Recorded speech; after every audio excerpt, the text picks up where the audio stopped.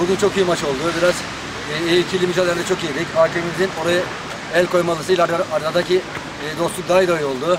Arkadaşlar bir şey yapsak kusura bakmasın özür dileriz sertlikten dolayı. Bu maç aldığımız için çok mutluyum. Bravo! Tebrik ediyorum arkadaşlar. Ayrıca, ayrıca galibiyet serisine devam ediyoruz. Evet, Böyle bravo. Böyle bravo sağ olun.